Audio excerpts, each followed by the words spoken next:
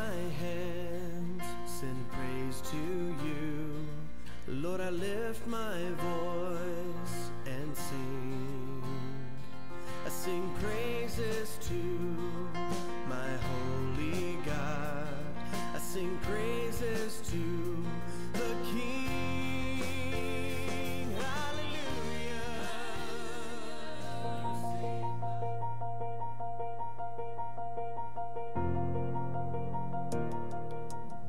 everyone, I'm Kim, and I'm so glad you're here today.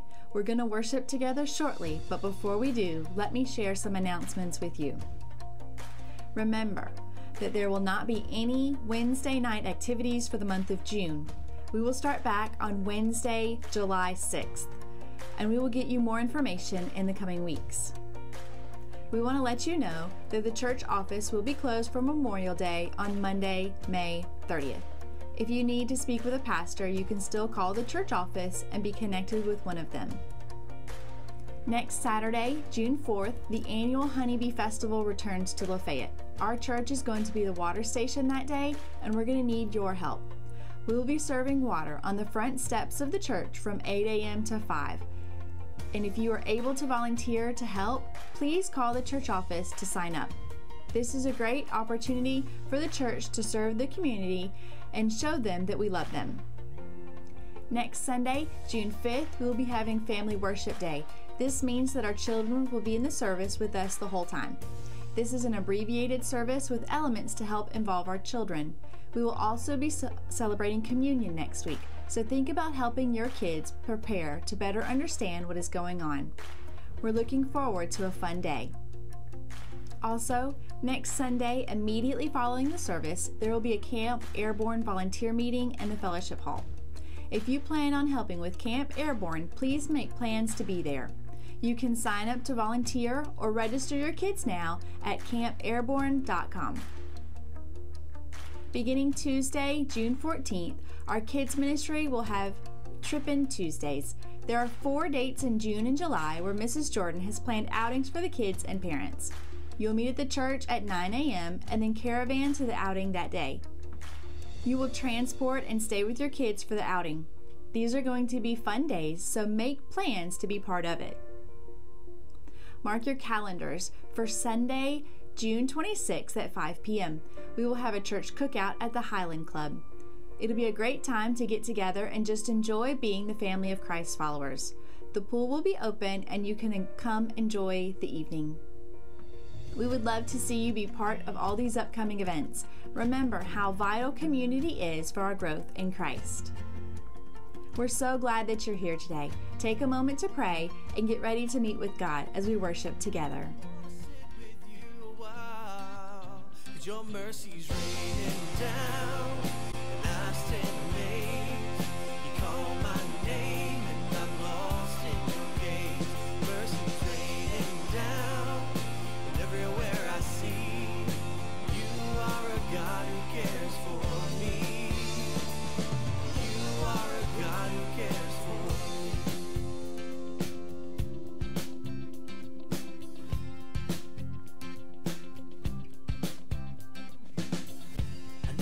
nothing I could do, Lord, that would make you love me more.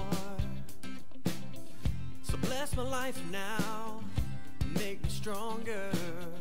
I know there's so much that's in store. Your mercy's raining down, and I stand amazed.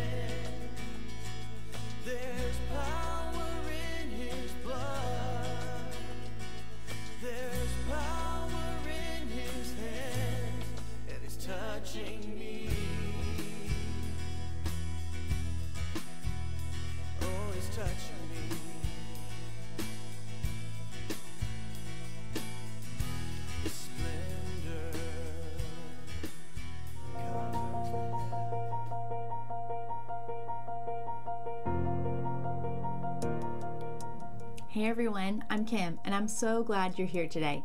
We're going to worship together shortly, but before we do, let me share some announcements with you. Remember that there will not be any Wednesday night activities for the month of June. We will start back on Wednesday, July 6th, and we will get you more information in the coming weeks. We want to let you know that the church office will be closed for Memorial Day on Monday, May 30th. If you need to speak with a pastor, you can still call the church office and be connected with one of them. Next Saturday, June 4th, the annual Honeybee Festival returns to Lafayette. Our church is going to be the water station that day, and we're going to need your help. We will be serving water on the front steps of the church from 8 a.m. to 5. And if you are able to volunteer to help, please call the church office to sign up. This is a great opportunity for the church to serve the community and show them that we love them. Next Sunday, June 5th, we will be having Family Worship Day. This means that our children will be in the service with us the whole time. This is an abbreviated service with elements to help involve our children. We will also be celebrating communion next week, so think about helping your kids prepare to better understand what is going on. We're looking forward to a fun day. Also, next Sunday, immediately following the service, there will be a Camp Airborne volunteer meeting in the fellowship hall. If you plan on helping Camp Airborne, please make plans to be there. You can sign up to volunteer or register your kids now at campairborne.com. Beginning Tuesday, June 14th, our kids ministry will have Trippin' Tuesdays. There are four dates in June and July where Mrs. Jordan has planned outings for the kids the church at 9 a.m. and then caravan to the outing that day. You will transport and stay with your kids for the outing. These are going to be fun days, so make plans to be part of it. Mark your calendars for Sunday, June 26th at 5 p.m. We will have a church cookout at the Highland Club. It'll be a great time to get together and just enjoy being the family of Christ followers. The pool will be open and you can come enjoy the evening. We would love to see you be part of all these upcoming events. Remember how vital community is for our growth in Christ. We're so glad that you're here today. Take a moment to pray and get ready to meet with God as we worship together.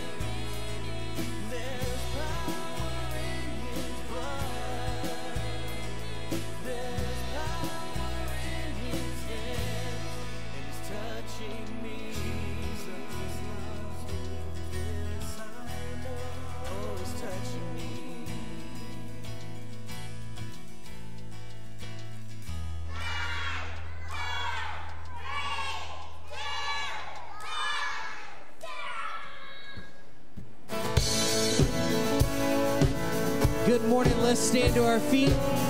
We're here to worship the King of Kings and the Lord of Lords. I hope you came ready. Our God is good. We celebrate His goodness today. You guys awake? Let's worship together this one. He's coming on the clouds. Let's sing it out together.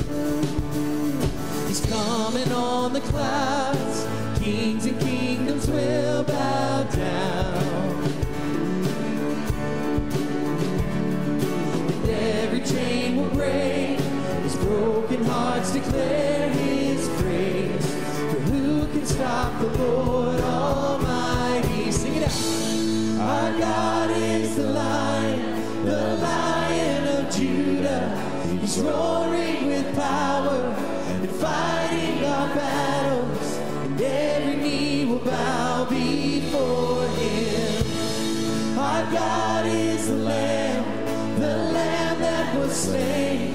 The sins of the world. His blood breaks the chains, and every knee will bow before the lion and the lamb. Oh, every knee will bow before the lion and the lamb. Oh, oh, oh, oh. open up the gates, sing it out together. So open up the gates,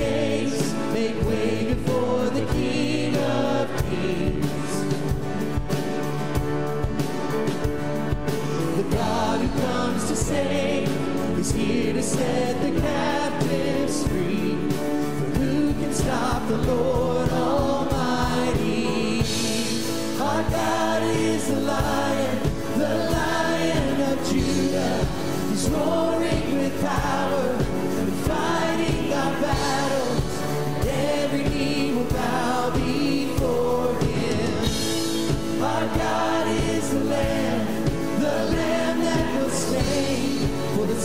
sins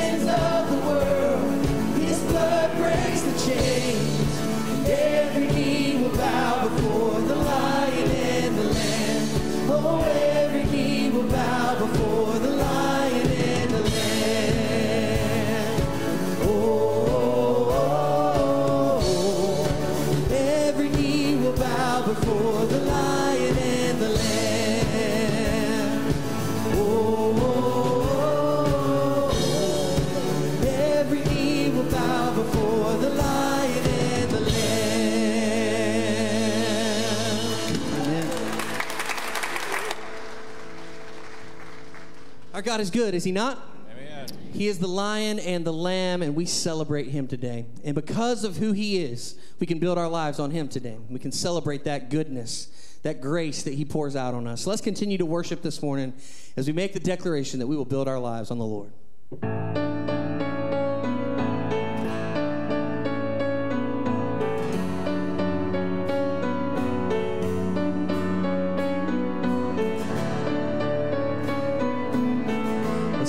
Truth together. My hope is built on nothing less than Jesus' blood and righteousness.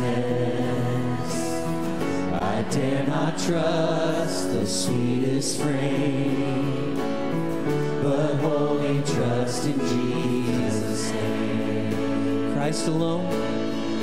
Christ alone, weak made strong in the Savior's love through the storm. He is Lord, Lord of all.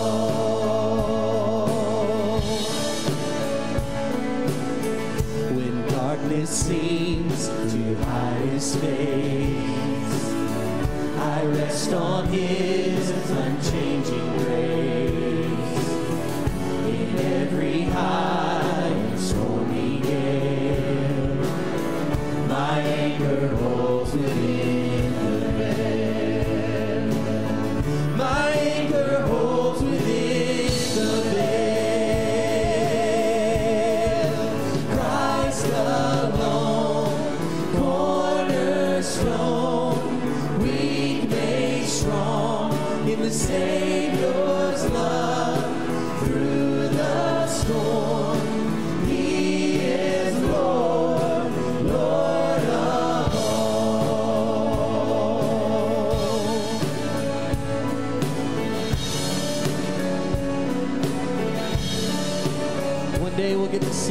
face to face. We can trust in him today. Let's celebrate with these words. When he shall come with trumpet sound. Oh, may I then in him be found. Rest in his righteousness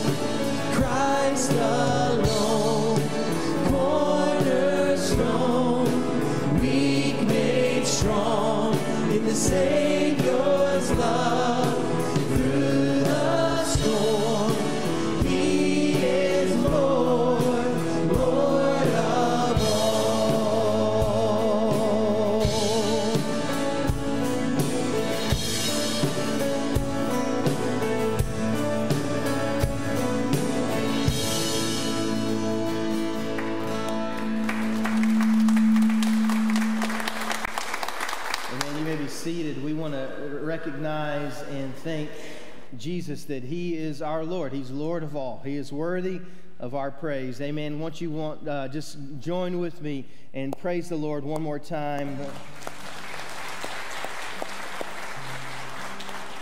That's why we're here today to declare Him. He's our King. He's our glorious King. He's worthy of our praise. He's Lion and Lamb. He's worthy of everything that our lips could say, of everything that our lives could give. He's worthy of that. And so I pray that as we move into this service, as we continue to sing, as we look at His Word, that will challenge us with that very question Is Jesus my King? My prayer is that that will already be on our hearts right now. Be thinking about that, be pondering that, be asking that, be praying that to Him in just a moment as we pray together. We've got some uh, things coming up. So if you're a guest of ours, thank you so much for being here. We want to help you connect and get to know our church, what's going on. We'd love to connect with you, share with you all the stuff that, that's happening in our church life. And so if you would uh, do us the honor of filling out a card, I've got a gift for you. You can come see me at the table at the end of the service. I'd love to give you. You can also text the word guest to 423 455 9458 and that will uh, initiate that conversation. Well, we we've got we have an opportunity before us that we have to do. We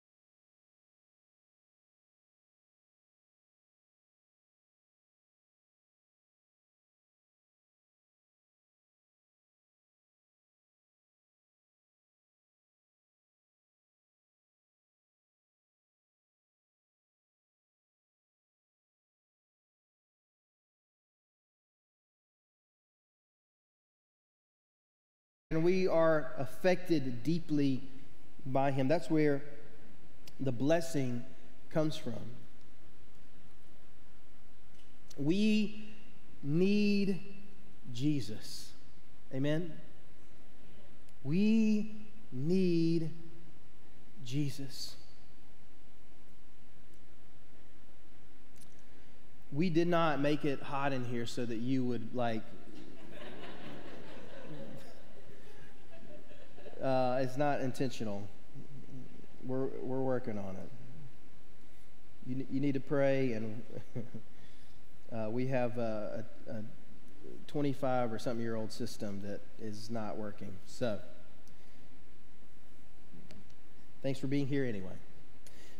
Um, we're not trying to make it feel like hell, okay, and try to get you out of it. That's what I was trying to say. Though trusting Jesus will keep you from going there. All right? But that was not intentional. All right. We need Jesus. We uh, need him as he is seen in this text. And in Revelation, we get him. We, we get the, the full picture. We get the glorious, magnificent, amazing picture of our Savior. Sometimes raw and in dynamic pictures. And so we are going to take a break after this week. And so I want to just kind of look at where we've been. What, what have we seen about this Jesus? What have we understood? We're going to take a little break. We're going to walk through some Proverbs through the summer, and we'll come back to Revelation in the fall. But before we do, I want to remind us, and I want to remind myself of who Jesus presents himself to be in the first six chapters of Revelation. And in these chapters, we remind ourselves that we must, we must determine what we will do with this king. See, that's the thing about Jesus is that Jesus demands a response. When Jesus was brought before Pilate, Pilate goes to the people and he says, What should I do about this Jesus? You and I must ask ourselves the same question.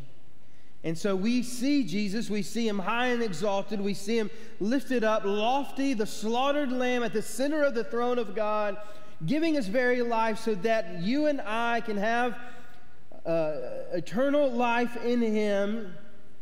And he begins opening these scrolls. He is in charge, he is on his throne. And you and I have to do something about it for our lives. And I can't do that for you. Your neighbor can't do that for you. Your spouse can't do that for your mom, your dad. This is something you must grapple with.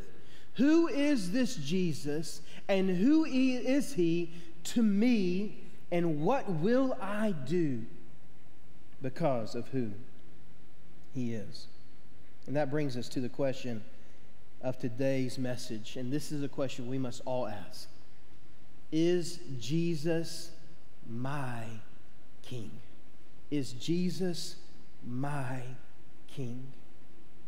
I would imagine most of us wouldn't, wouldn't de- debate or discuss that Jesus is the king, but the question we must all ask is Jesus my king? Is he my king? This is a question you must wrestle with. You must. If you do not wrestle with it today, you will wrestle with it one day, but it may be too late.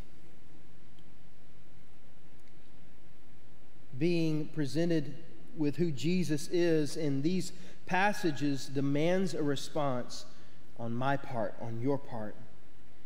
So, how will we respond? Let's look at four things, particularly that we must do if Jesus is truly our King. The first we find in Revelation chapter 1, 7 and verse 17. And what we see is that when Jesus is my king, I will keep my eyes on him. When Jesus is my king, I'm going to keep my eyes on him. Look at what happens in these verses. This is the vision John sees. And he sees in verse 7, he says, Look, he is coming with the clouds and every eye will see him, even those who pierced him. And all the tribes of the earth will mourn over him. So it is to be. Amen. Verse 17. When I saw him, John says, I fell at his feet like a dead man. He laid his right hand on me and said, Don't be afraid. I am the first and the last. You see, in these verses, I want to remind us that we must look on Jesus. He is holy, majestic, and dazzling, but he is able to be looked upon as well.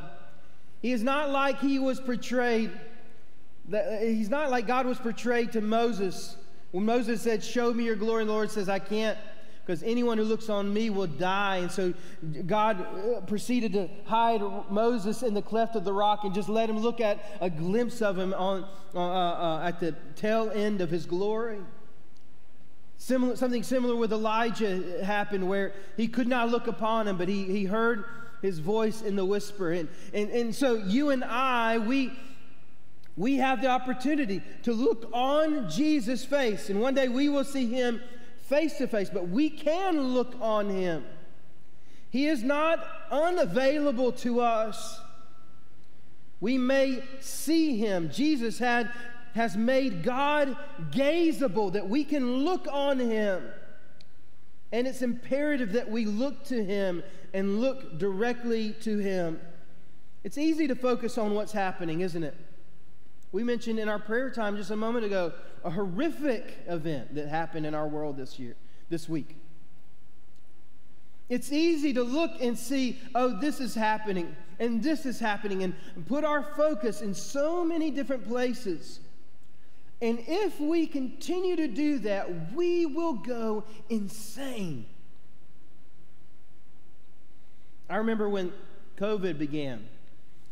And I remember that every day I was grasping at numbers and charts and news feeds and trying to figure out what in the world, how do you, how do you lead a church in the middle of this crazy mess? And guess what? It made me insane. I had to just put it all away and say, I can't look on this anymore. I just have to figure out what I need to do with Jesus, and that's all I can do. And the same thing is true for us. If we focus on all the things that are happening, all the good things, all the bad things, all the things surrounding us, then it will take our gaze off of, the, off of Jesus, off of our King. The enemy wants us to focus on all the wrong things and bad things in the world.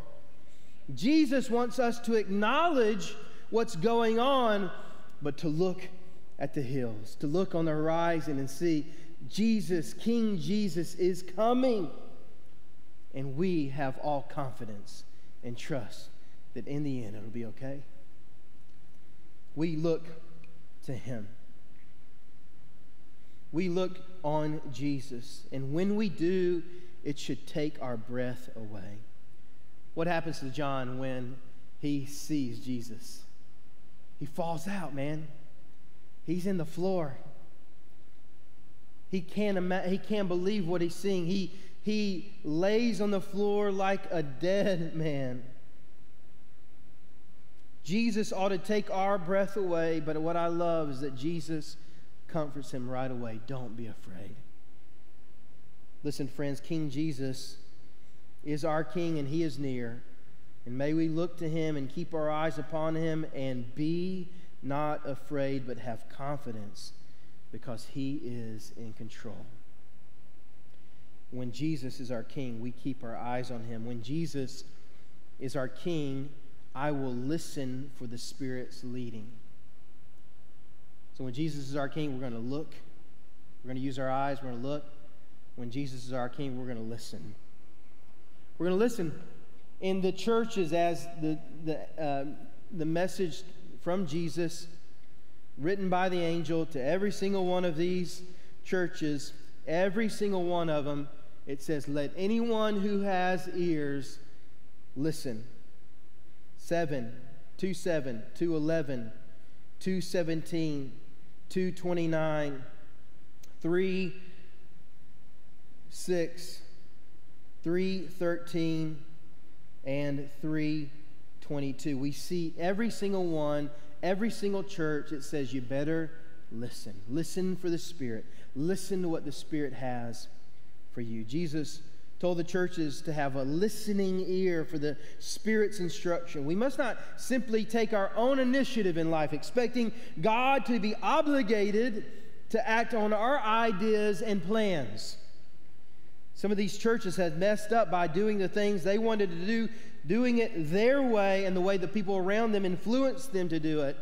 Jesus wants us not to listen to the world around us or our own best judgment. He wants us to listen and hear from heaven. Each of these messages deals with one thing. It says, Let everyone who has ears listen. The one who conquers will blank.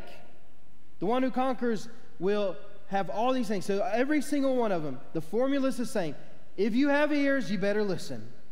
The Spirit is speaking, and He's speaking to those who want to conquer. And if you want to conquer, and if you do conquer, this is what you get. And every church got a different promise that eventually we see happen in and be fulfilled in Revelation 20 through 22. The thing here that we must see is that if we want to last and conquer and have victory in Jesus in our lives and conquer as the Lamb conquers for us, then we got to listen. We got to listen to the Spirit and what He has to say. We have to listen to, to heaven and Jesus and what He wants us to do and not just take things in our own hands. We, we're really good at that, aren't we? We're really good. My, one of my favorite prayers is, you know, Lord, I'm going on this trip. Please give me traveling mercies. You know? And it's okay. You can pray that. It's all right. The Lord does that. But it's funny. Did we ask God if we could go there? Maybe He didn't want us to. We love to ask God to bless our well laid plans, don't we? And that's a, a silly joke, okay? Pray for travel mercies. Go when you're, you know, go wherever you're going tomorrow to celebrate Memorial Day. I'm not saying that, but what I'm just saying is that we do really good making our plans, laying them out, and saying, Oh God, while you're at it, could you bless this? What if we flip the script and say, Lord, where do you want me to go? What do you want me to do? I'm not going to move unless you tell me to move. Guess what? The Lord will bless that. No question. So when Jesus is my king, I will listen for the Spirit's leading.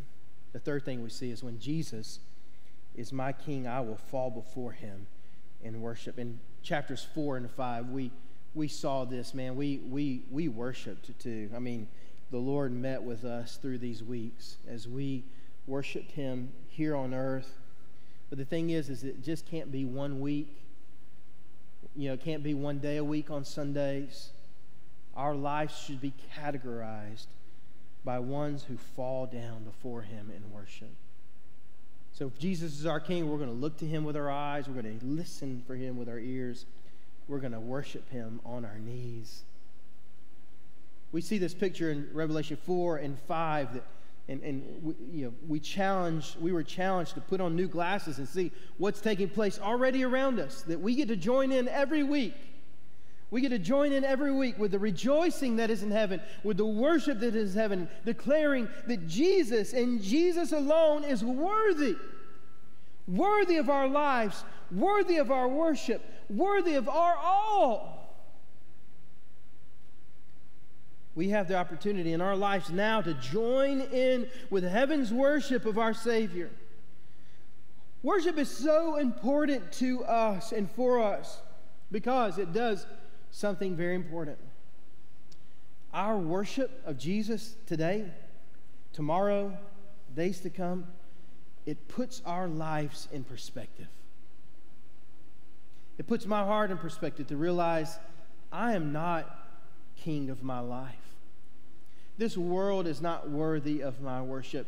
Jesus and Jesus alone is. When we practice worship, when we practice now, and don't wait till we get to heaven, but we practice now, falling before our Lord and Savior every day in worship, we put our hearts in the right posture to be prepared for eternal worship of Him.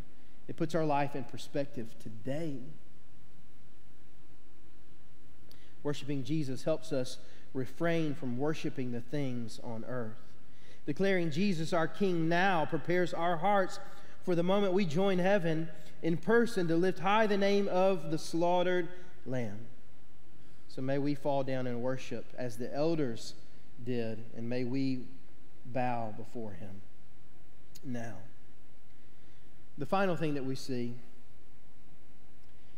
in chapter 6 is when Jesus is my king, I will walk in his way no matter what's ahead. Look at chapter 6, verse 1. I want to remind you. Then I saw the Lamb open one of the seven seals, and I heard one of the four living creatures say with a loud voice, like thunder, Come. Jesus is coming, and we have the opportunity to follow him.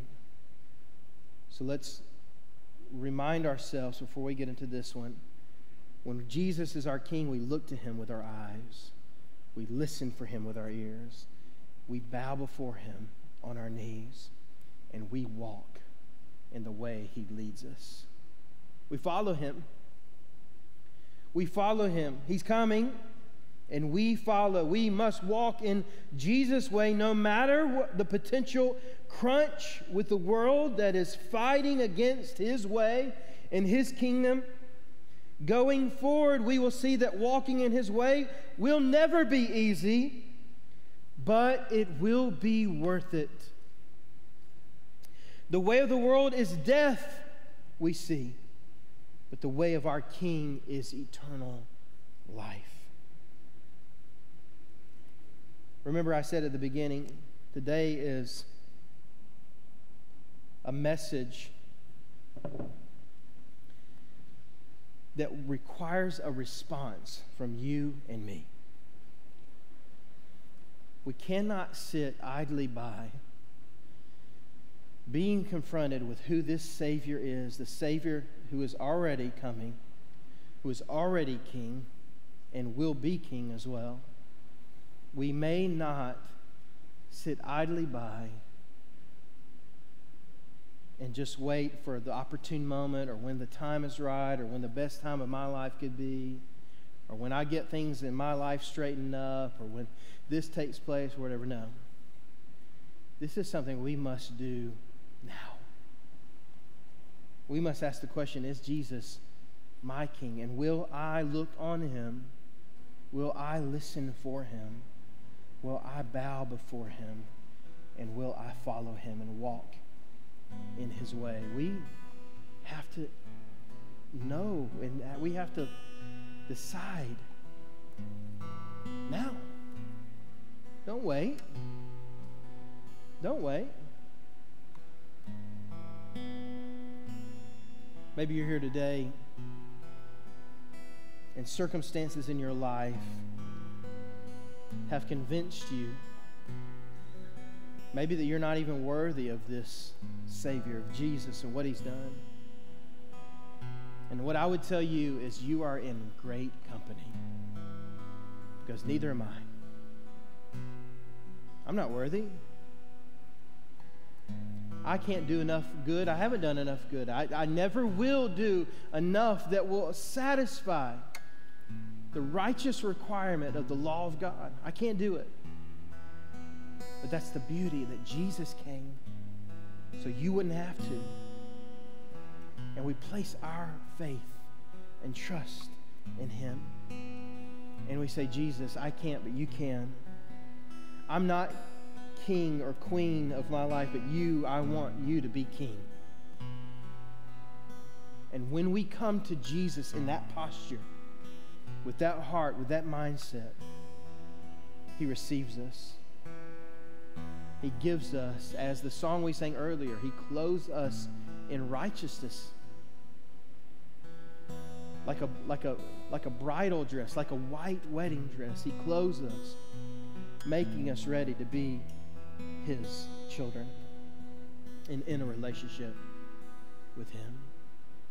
Would you today, if that's you that I described earlier, or you just know you need to trust Jesus, would you call out to him and say, Jesus, would you make me clean? Would you bring righteousness into my life? Would you save me? Would you forgive me? Would you be my king? You got to say it in your words. I'm just giving you ideas. This is something I can't do for you. I can only take you as far as I can, and you have to make the decision on your own.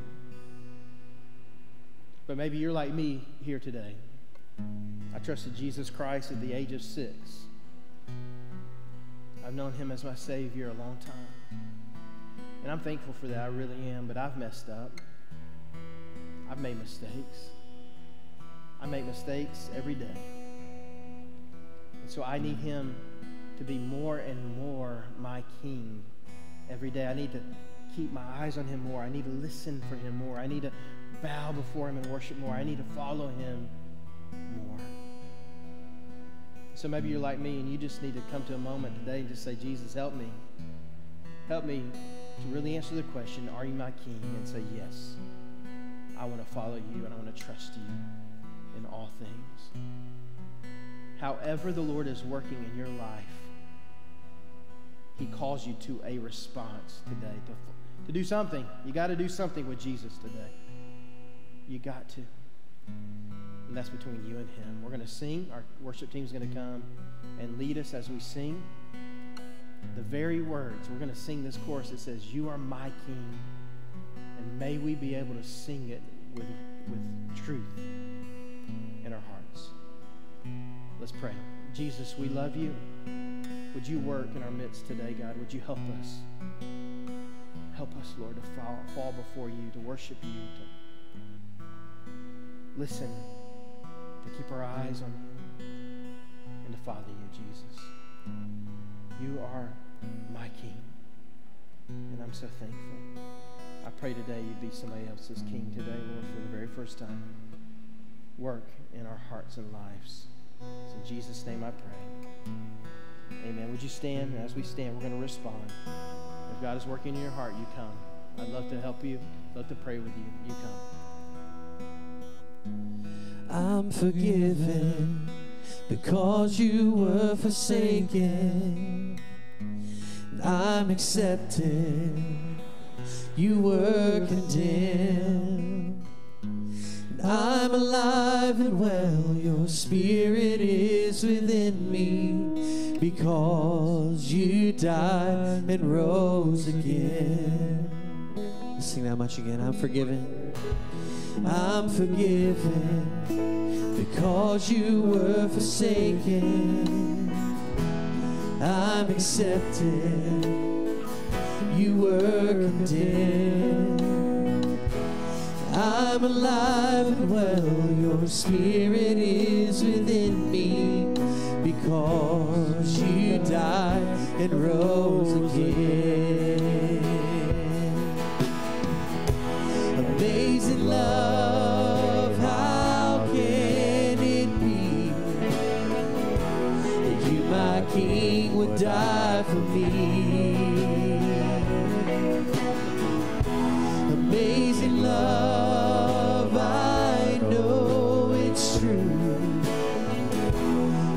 My joy to honor you in all I do. I honor you. I'm forgiven. I'm forgiven because you were forsaken. And I'm accepted. You were condemned. I'm alive and well. Your spirit is within me because you died and rose again. Amazing love,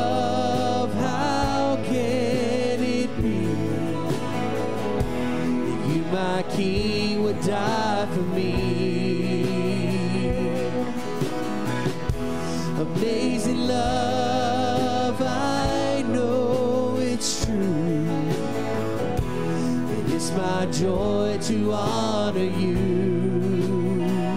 in all I do.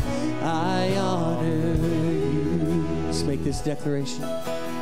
You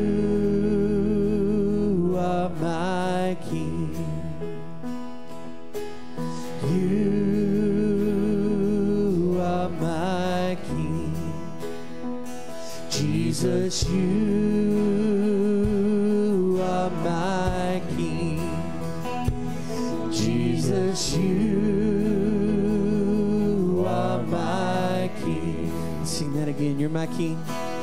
You are my King. You are my King. Jesus, you are my King. Jesus, you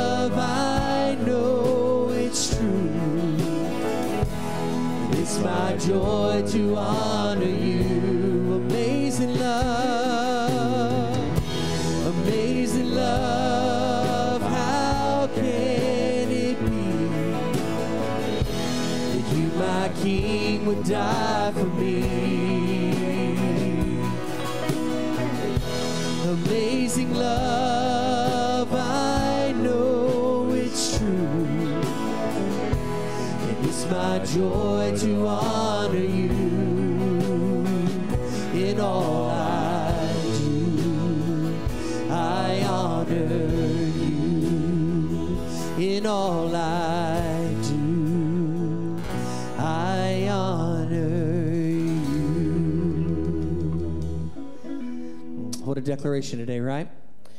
Jesus is our King, and we honor him with our lives. And may we do that as we go here in just a few moments. I want to remind you of two things. Number one, continue to worship through giving as we leave.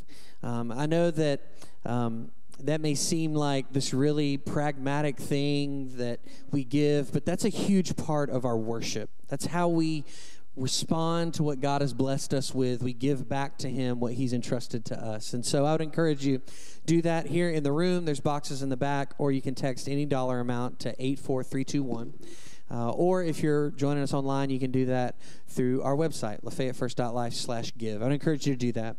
Uh, secondly, remember this week, as we leave this room, you're not dismissed from this room. You are sent from this room. We are ambassadors for Christ, as Paul says in 2 Corinthians chapter 5, and take that ambassadorship seriously.